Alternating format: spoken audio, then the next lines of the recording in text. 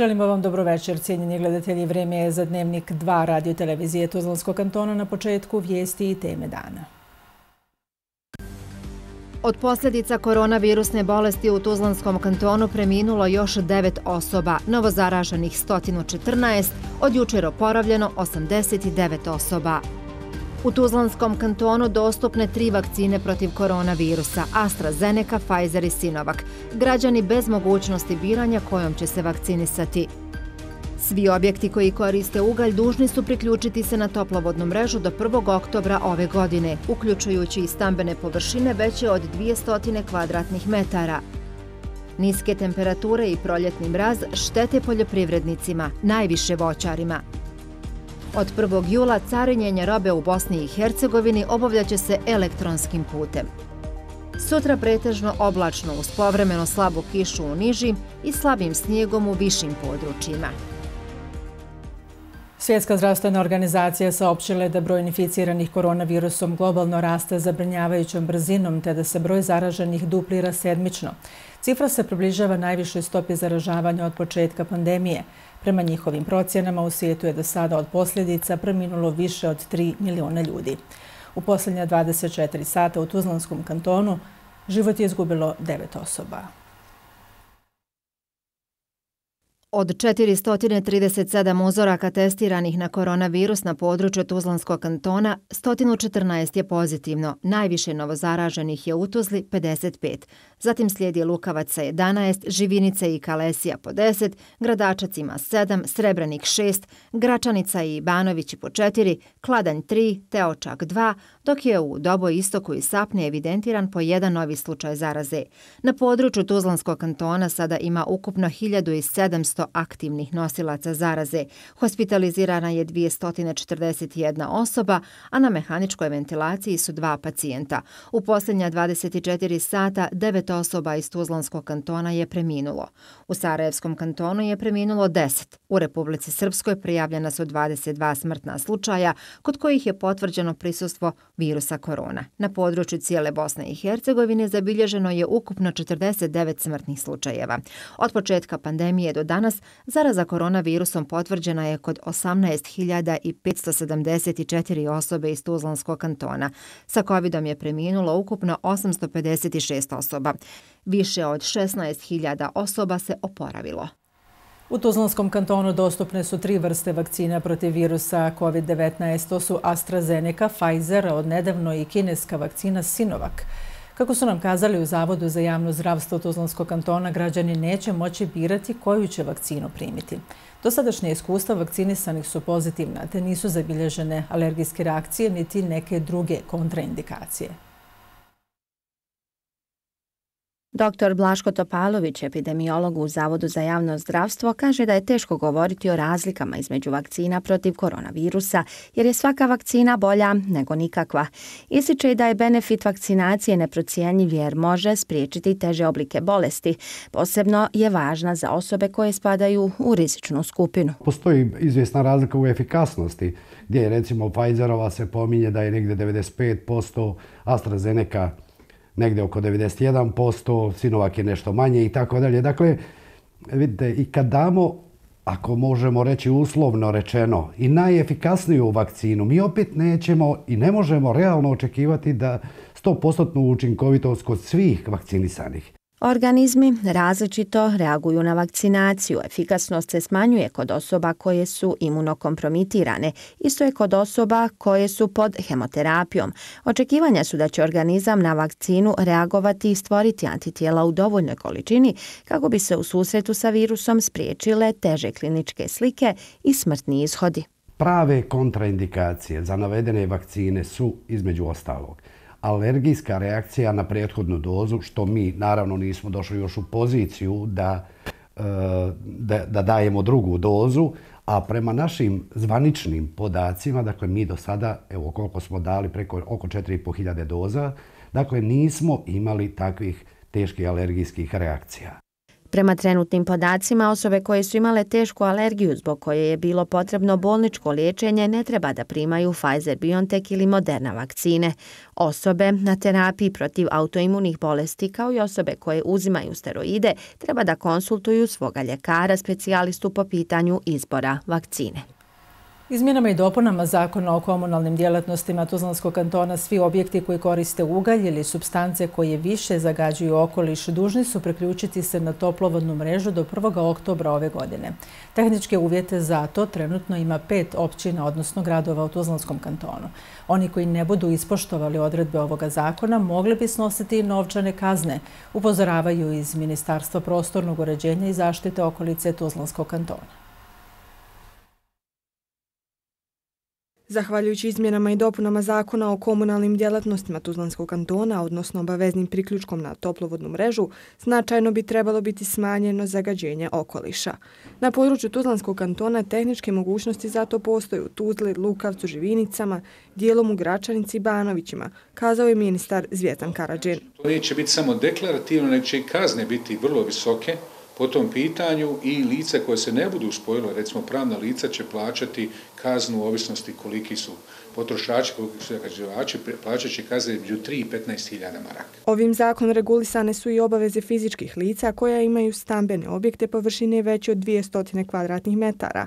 Kako bi olakšali priključenje na toplovodnu mrežu fizičkim licima i obrtnicima, Resorno ministarstvo će dati i određene poticaje. Po jednom projektu NDP-a za fizička lica Eh, je u programu definisano da će neki 500.000 maraka biti izdvojeno za eh, konverziju peći eh, na, ugalj, na, na peći sa peletom i da ćemo idući godine, ćemo idući godine planirati značajnija sredstva kao ministarstvo i da ćemo u tom slučaju uključiti i druge sisteme koji su okolinski prihvatljive tipa, tipa toplinskih pumpi, tipa recimo, solarnih solarne energije i tako dalje. Samo u Tuzli postoji 5 do 6 objekata koji u velikoj mjeri zagađuju okolinu i čim će se konvertovanjem i priključenjem na toplovodnu mrežu u mnogome smanjiti zagađenje vazduha, dodao je Karadžin. Istako je da se pripajanje na toplovodne mreže odnosi samo na objekte koji koriste ugalj ili neke potencijalne substance koji više zagađuju okoliš,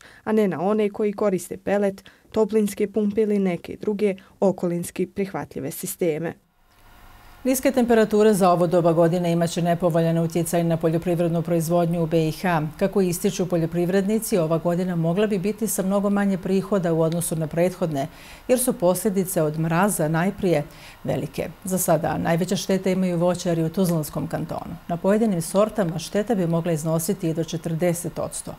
Resorni ministar za poljoprivredu, vodoprivredu i šumarstvo najavio je obilazak gazdinstava radi pronalaženja najboljeg načina pomoći za proizvođače. Proljeće je uveliko zakucalo na vrata, ali se zima još ne predaje. Hladno vrijeme ne ide na ruku poljoprivrednim proizvođačima, posebno voćarima. Vremenska prognoza je faktor na koji ne možemo utjecati.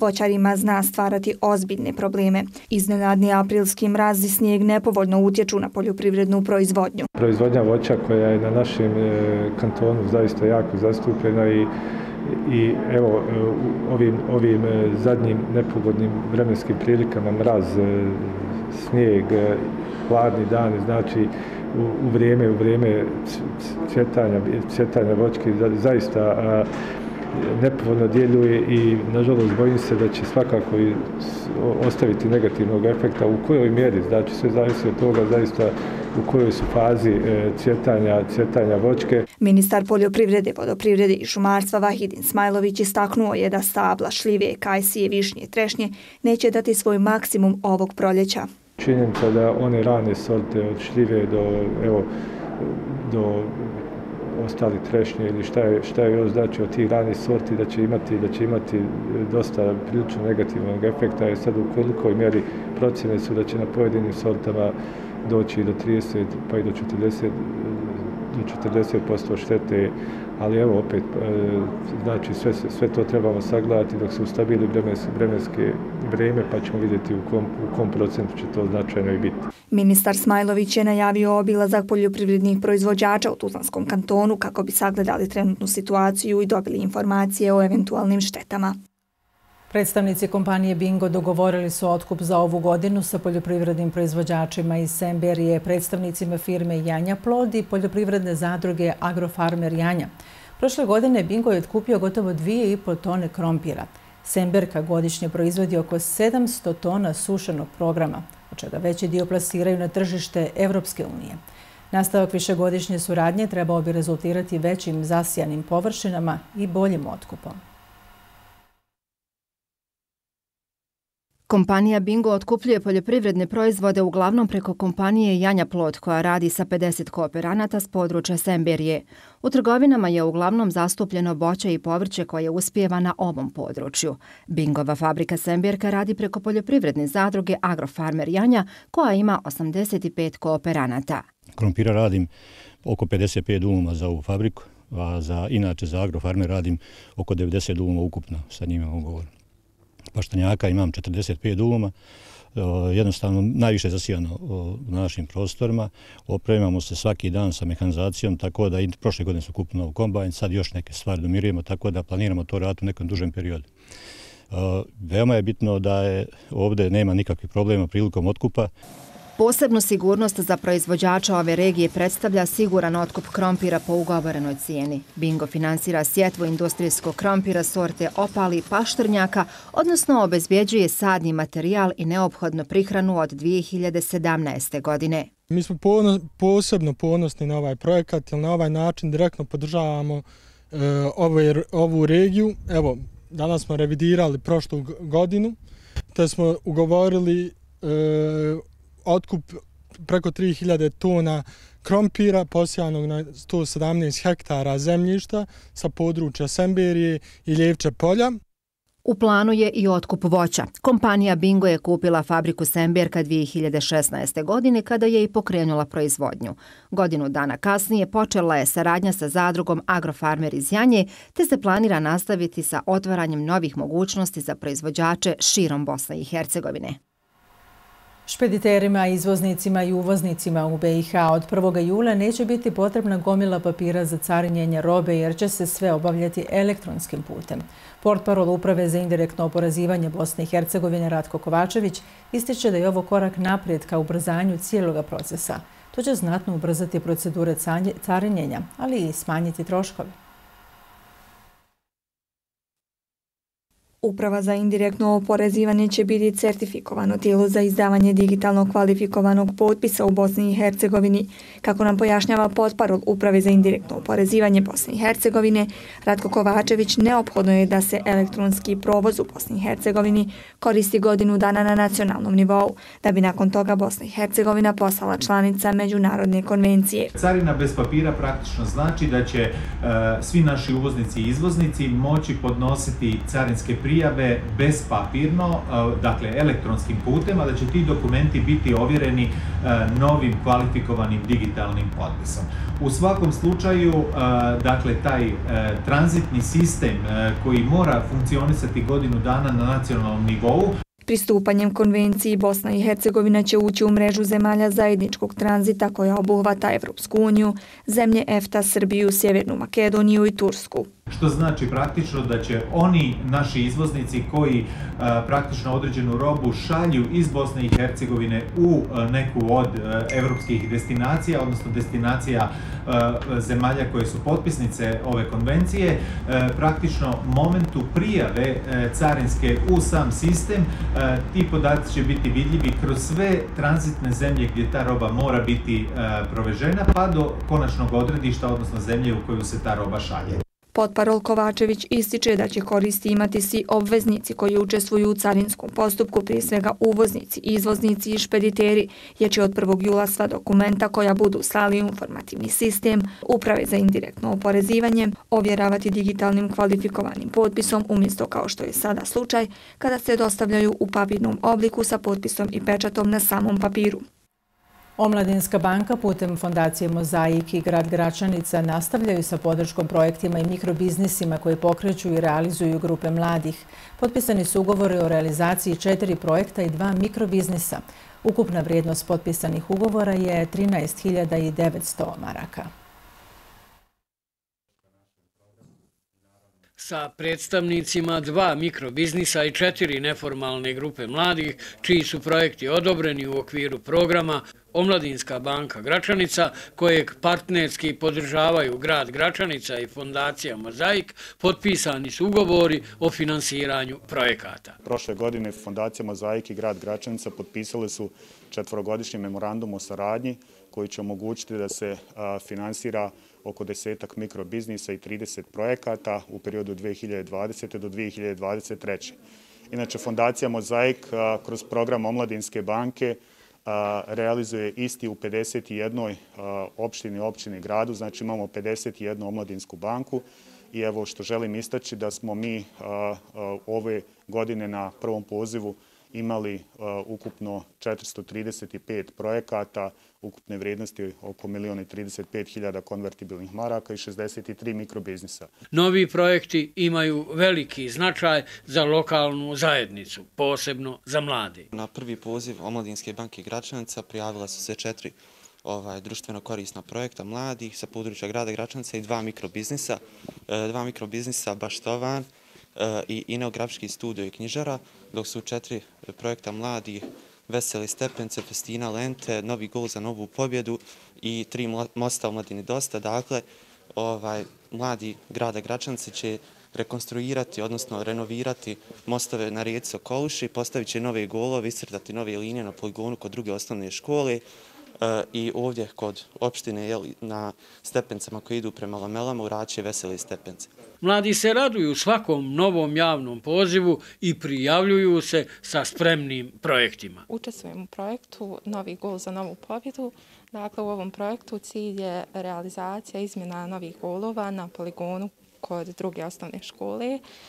Trenutno dole je samo jedan gol koji je vrlo nestabilan i nesiguran mladi iz našeg grada kao i djeca iz druge osnovne škole nakon izmjene imaće priliku da budu sigurni u izvršavanju svojih tjelesnih aktivnosti i nadamo se da će to na neki način i povećati im želju za treniranjem i druženjem. Mikrobiznisi iz ovog projekta pokazuju da vrlo brzo prerastaju u samoodržive i brzo rastuće firme. Česnik sam projekta e, koji finansira Mozaik, tačnije e, mikrobiznisa Baštovan. Registrovao sam to e, zato što nema nikog kod nas ovdje u Gračanici. Smatram da je potrebno da ima grad takvu djelatnost. Bavit se ja održavanje dvorišta, uređenja i tako to. Grad Gračanica daje punu podršku projektima mladih i žena. Grad učestvuje sa 9,5 hiljada. Odebrani su projekti, a evo koristim priliku da iskažem zaista dobro je što su mladi zainteresovani za ove projekte, dobro je da se uključuju, dobro je da pokušavaju se angažovati i osjećati biznis i to je ono dobro i za grad i za širu zajednicu.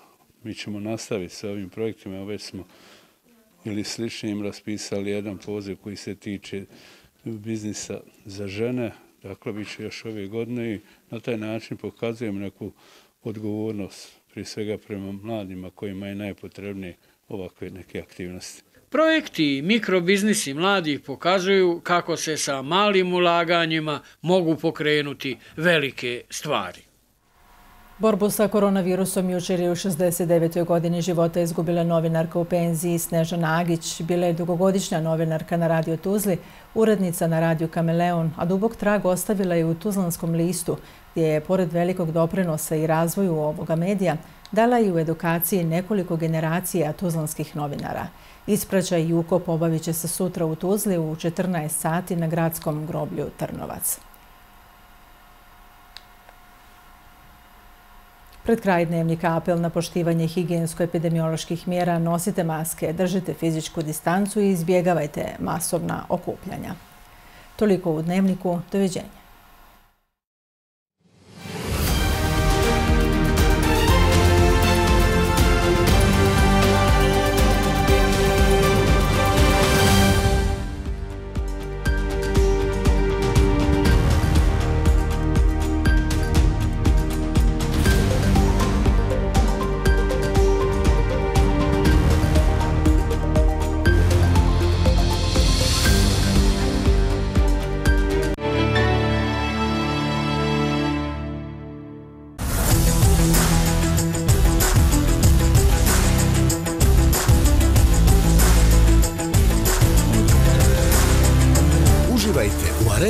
Kanalima uz M-Sat već od 7,5 kn mjesečno. MTEL. Imate prijatelje. Može. 1, 2, 3, 4.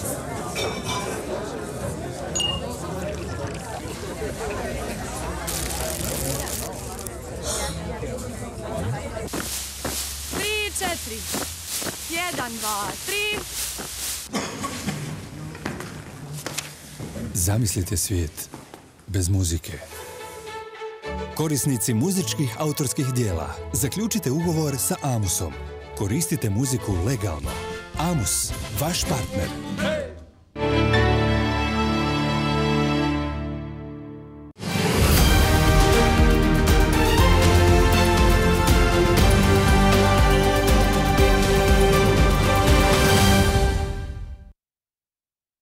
U 26. kolu futbalske MTL premier Lige Bosne i Hercegovine ekipa Tuzla Sitija poražena je u doboj kaknju od mladosti sa 2-0, čime se udaljila od pozicija koje vode u Evropu. Domaći su do gola došli već u 11. minuti kada je grešku Nukića iskoristio Hiroš. U samoj završnici prvog dijela, tačnije u 44. minuti, golman mladosti Velić odbranio je penal Mišiću. Šest minuta drugog polovremena bilo je dovoljno domaćima da dođu do 2-0. Nakon greške golmana Muminovića, strelac je bio Vladić. Sloboda je doživjela poraz i to na gostovanju kod posljednje plasirane ekipe prvenstva Krupe sa 1-0. Detalje sa ove utakmice pogledajte u našim sutrašnjim informativnim emisijama. Košarkaši Slobode nisu uspjeli plasirati u Ligu 6 za prvaka Bosne i Hercegovine. U odlučujućoj utakmici Tuzlaci su neočekivano u Mejdanu poraženi od Čapljine 88-81, pa se na taj način u završnicu prvenstva plasirao Banja Lučki borac. Sloboda je u ovaj meč ušla bez Lelića, Stronga i Miličevića koji su suspendovani zbog nereda u Trebinju, ali je uspjevala rezultat kontrolisati sve do sredine drugog perioda. Tada Čapljina počinje igrati odlično, pa na odmor odlazi sa vodstvom 47-46. U trećem periodu isključen je jedan od najboljih slobodjenih košarkaša Ibrahim Durmo, što je u mnogome gostima olakšalo da se rezultatski odvoje i na kraju ostvare pobjedu. Matija Milin sa 22 pojena i 12 skokova, te Aleksa Jugović sa 20 pojena predvodili su Čapljinu, dok su kod Slobode po 20 pojena postigli Fahrudin Mangafić i Adi Alikadić. Pored branioca titule prvaka Bosne i Hercegovine, Igo Keje i već pomenutog borca za titulu prvaka naše zemlje u nastavku prvenstva borit će se još Spars, Široki, Čalik i Leotar.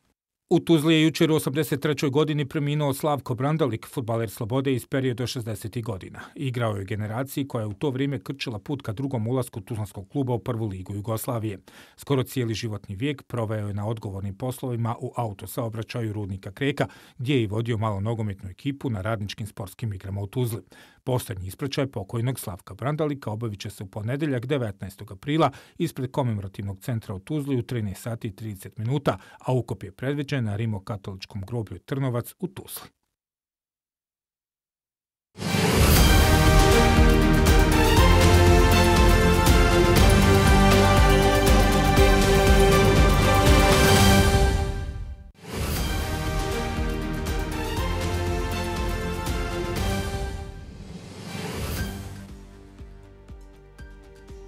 U Bosni i Hercegovini danas pretežno oblačno vrijeme. Padevine sa jugoistoka će se postepeno širiti na veći dio zemlje.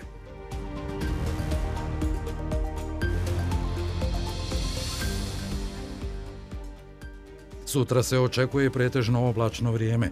Povremeno će padati slaba kiša u nizinama, a u višim područjima slab snijeg. Vjetar slab sjevernog smjera. Jutarnje temperature zraka će se kretati između 1 i 4, a na jugu do 8, a dnevne temperature zraka između 5 i 10, na jugu do 14 stepeni Celzijusa. Tmurno vrijeme uz povremene padavine i zahlađenje loše će djelovati na hronične bolesnike i meteoropate. Moguće su reakcije na promjenu u vidu glavobolje, nervoze, reumatskih i bolova na mjestima ozljeda, u noći problemi sa snom. Zbog radova u tunelu Čaklovići na dionici Tuzla Kalesija Simin Hanica Parde, saobraćaj se od 22 do 6 sati ujutro obustavlja i preusmjerava na alternativni pravac preko Dubrava. Tokom dana putnička vozila iz smjera Tuzle saobraćaju kroz tunel, a iz smjera Kalesije obilaznicom oko tunela. Teretna vozila se i tokom dana usmjeravaju na put preko Dubrava. Saobraćaj je usporen na putu Banović-Ribnica na izlazu iz Banovića. Ostali putevi u Tuzlanskom kantonu su prohodni. Na graničnim prijelazima trenutno nema dužih zadržavanja.